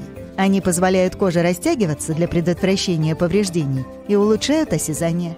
Когда вам страшно, вы можете стать намного сильнее, чем обычно. Да, вы не поднимете машину, но не так быстро почувствуете боль или усталость.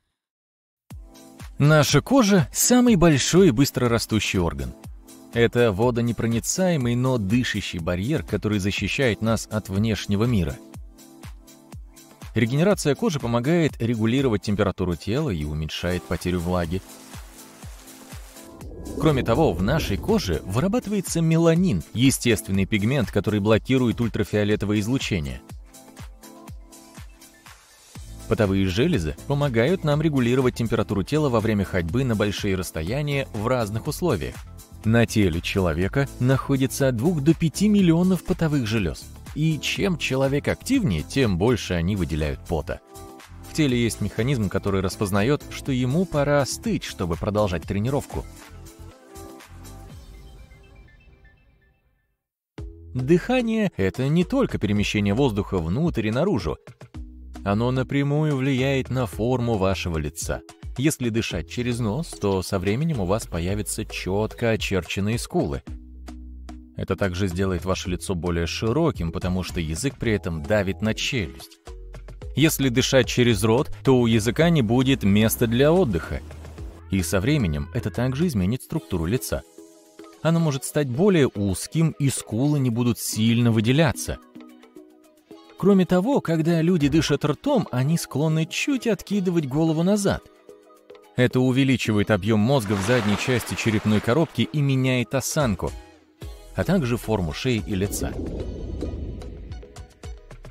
Миллениалы или люди, родившиеся между 1981 и 96 годами, более забывчивы, чем люди старше – Основная причина их забывчивости кроется в более высоком уровне стресса, так что берегите нервы. Наше левое легкое меньше правого, потому что оно делит пространство с сердцем. У людей нет таких больших зубов, как у тигровой акулы, и у нас их не так много. Несмотря на то, что зубы акул покрыты прочной эмалью, они не крепче наших. Специальные белки в наших зубах предотвращают их растрескивание, и мы их не теряем в отличие от акул. Их зубы не крепятся корнями к деснам, как у людей, поэтому они теряют примерно по одному зубу каждую неделю. Вы когда-нибудь задумывались, почему у нас есть ногти? Они состоят из кератина, белка, который можно найти в мехе, когтях, копытах и волосах. В отличие от когтей, наши ногти плоские и широкие, они защищают от травм кончики наших пальцев на руках и ногах. Кроме того, благодаря ногтям у нас есть жесткая основа, которая помогает нам в повседневной жизни. Например, отклеить наклейку от подложки или собрать пазл. Человекообразные обезьяны тоже используют свои ногти для разных задач. Ученые полагают, что у приматов развились ногти, чтобы хвататься за ветки, удалять клещи и делать другие подобные вещи. Человеческое тело светится в темноте, а это значит, что все мы немного биолюминесцентны. Но этот свет в тысячу раз слабее, чем могут увидеть наши глаза. Впрочем, животные его видят. Наши глаза очень чувствительны. Однако это трудно проверить из-за того, что нас постоянно окружает свет – Человеческие клетки составляют всего 43% общего количества клеток в нашем организме, а все остальное — это микробы. Это значит, что в основном мы состоим из бактерий и грибков, и, по сути, представляем собой смесь ДНК кишечных микробов и нашей ДНК. Организм человека содержит 65% кислорода. А еще в нашем организме есть литий, кобальт, золото, уран и даже радий. В среднем люди зевают по 20 раз в день. Обычно это происходит спонтанно, например, при усталости, а иногда из-за того, что кто-то зевает рядом. Ученые полагают, что причина в феномене под названием «зеркальное отражение». Обычно, когда животные подражают другим, они признают это действие полезным. С людьми происходит то же, когда кто-то скрещивает ноги, улыбается или зевает. Горячий кофе явно вкуснее холодного. А все потому, что наши вкусовые рецепторы лучше распознают пищу комнатной температуры или чуть выше. Горячий кофе кажется менее горьким, потому что рецепторы, которые улавливают горечь, более чувствительны к холодному. Вы знали, что без мизинца наша рука потеряла бы значительную часть силы? Указательный и средний пальцы взаимодействуют с большим пальцем, чтобы хватать и отщипывать, а мизинец с безымянным пальцем обеспечивают прочность захвата. Наши кости в 4 раза тверже бетона. Самая крепкая кость в теле человека – бедренная. Она выдерживает вес в 30 раз превышающий вес взрослого человека. Наши кости состоят из композитного материала. Это значит, что они твердые и эластичные одновременно – Наружный слой нашей кожи на ногах толще, чем на других частях тела. Сердце имеет собственную электрическую систему и может продолжать биться, даже когда оно отключено от тела. Средняя продолжительность жизни волоска на брови составляет 4 месяца. Мы проводим 40% жизни с закрытыми глазами. Большую часть этого времени мы спим, а еще мы моргаем – у взрослого человека кровь составляет 7-8% общей массы тела. Около 55% нашей крови – это жидкая плазма, а остальное – красные и белые кровяные тельца и тромбоциты, которые образуют сгустки и предотвращают кровотечение. Невозможно глотать и дышать одновременно. Пища, которую мы глотаем, и воздух, которым мы дышим, сначала попадают в одну и ту же часть горла, а дальше проход разделяется на пищевод и трахею. Урчащие звуки, которые издает наш желудок, когда мы голодны, называются барбаригмами. Примерно треть людей умеют поднимать одну бровь, левую или правую. Отличный способ послать кому-то сигнал, рассказывая шутку. Но способность поднимать обе брови поочередно встречается гораздо реже. Если это не ваша суперспособность, значит вы не умеете контролировать нужные мышцы. Но этот навык можно развить. Встаньте перед зеркалом, зажмите рукой одну бровь, а другую поднимайте вверх и вниз.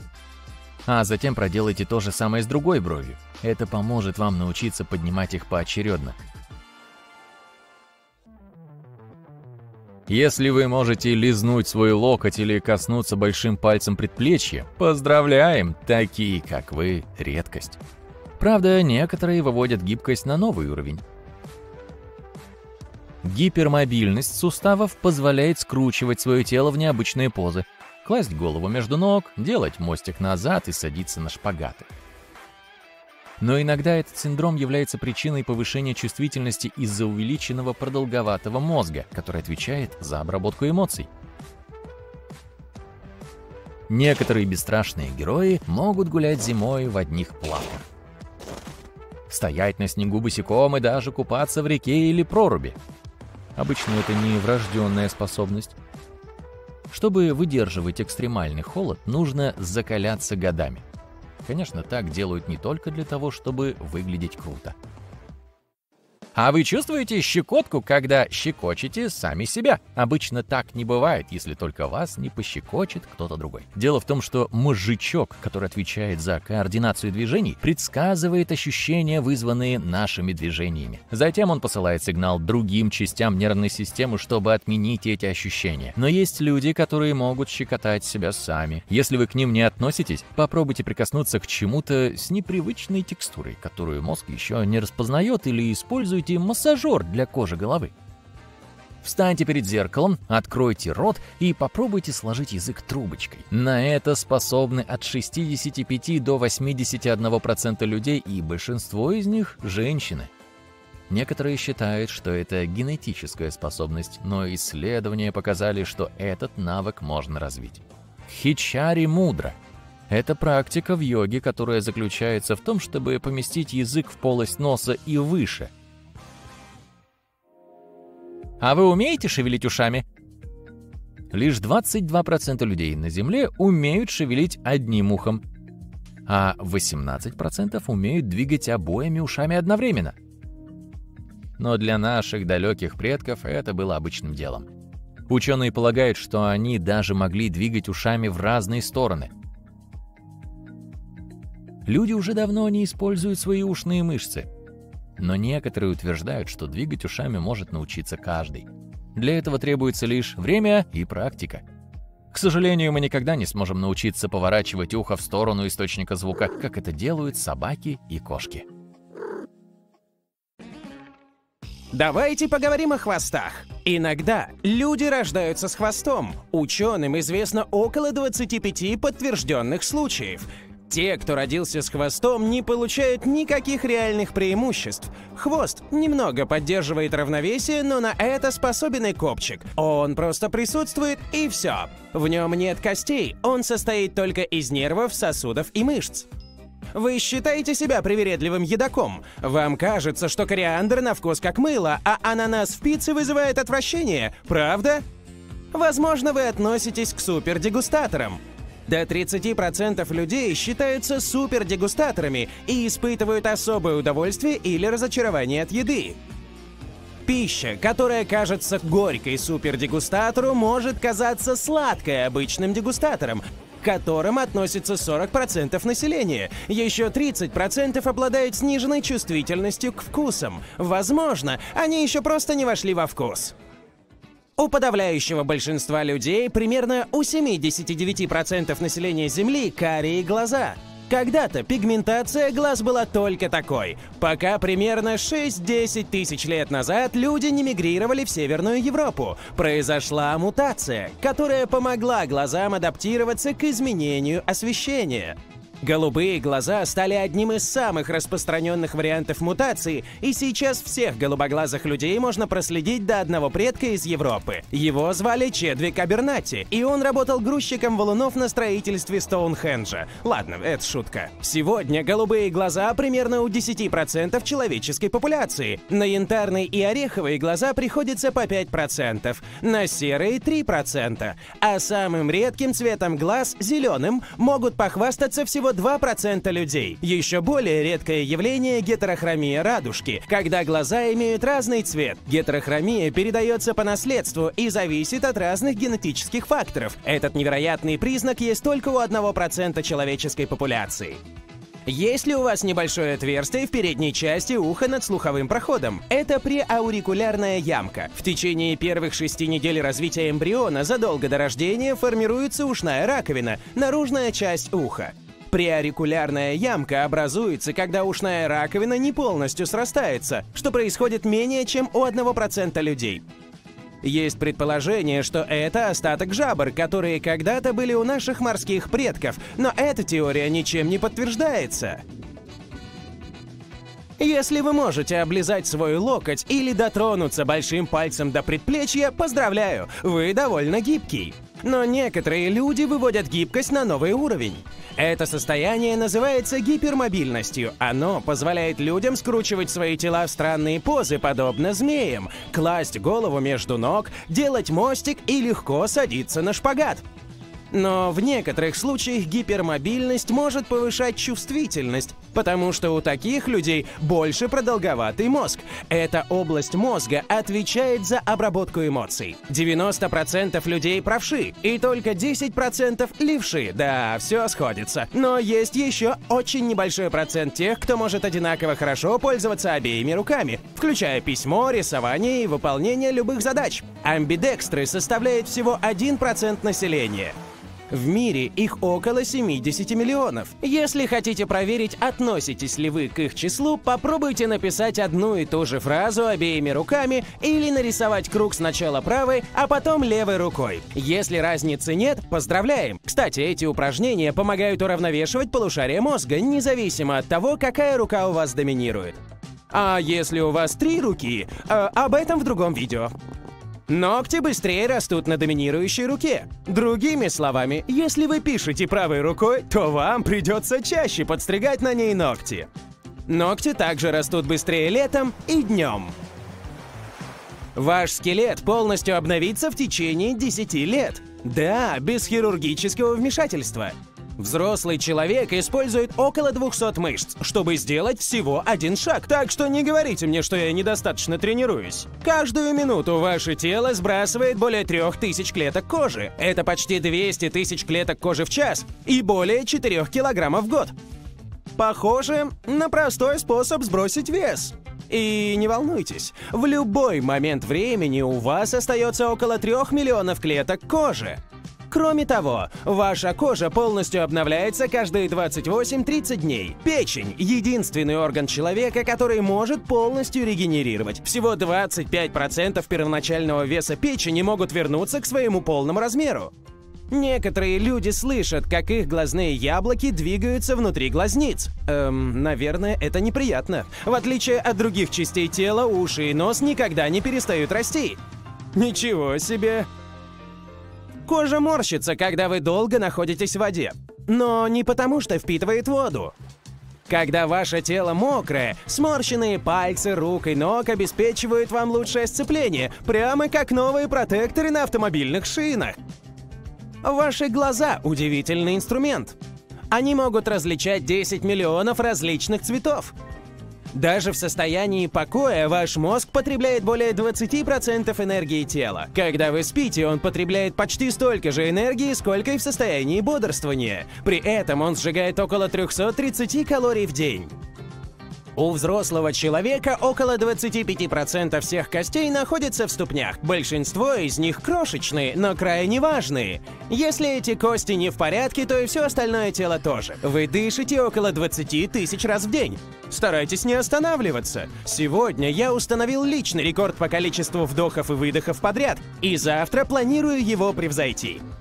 Человеческие кости – настоящий парадокс. Они почти в пять раз прочнее стального прута той же толщины, но могут сломаться при ударе и довольно хрупкие. Если у человека анасмия, также называемая обонятельной слепотой, он не может различать запахи, что не мешает ему самому пахнуть. Извините. Вы начинаете испытывать жажду, когда потеря воды составляет 1% массы тела. Более 5% и вы можете потерять сознание. Потеря больше 10% воды в сравнении с массой тела может закончиться очень печально. Но вы поняли, да? Самой сильной мышцей в теле с учетом ее массы является челюстная мышца. Пожалуй, моя развита слишком сильно. В любой момент времени 50 тысяч клеток в вашем теле заменяются новыми. Похоже на компанию, в которой я когда-то работал. К концу жизни средний человек может вспомнить до 150 триллионов единиц информации. Все, кроме того, где он оставил ключи от машины. Даже если отпечатки пальцев сильно повреждены, они все равно восстанавливают первоначальный рисунок. Просто им нужно время. Объем памяти вашего мозга эквивалентен примерно 4 терабайтам на жестком диске. Это более 8 миллионов фотографий. Люди — единственные живые существа, которые естественным образом спят на спине. Даже обезьяны обычно спят в сидячем положении, опираясь на что-то. Не будите их. Самая длинная кость бедренная, а самая маленькая расположена в ухе. Она короче рисового зернышка. Чувствуете ли вы щекотку, когда щекочете себя? Вряд ли. Обычно для этого нас должен щекотать кто-то другой. Это происходит потому, что область мозга, следящая за движениями, предсказывает ощущения, которые вызовут ваши движения. Затем она посылает сигнал в другие части нервной системы, чтобы отменить эти ощущения. Но некоторые люди действительно могут себя пощекотать. Если вы не относитесь к их числу, то можете получить эти ощущения, прикоснувшись к новой текстуре, которую мозг еще не распознал. Или используйте массажер для кожи головы, чтобы возбудить нервы и в итоге расслабиться. Хм, разве щекотка не расслабляет?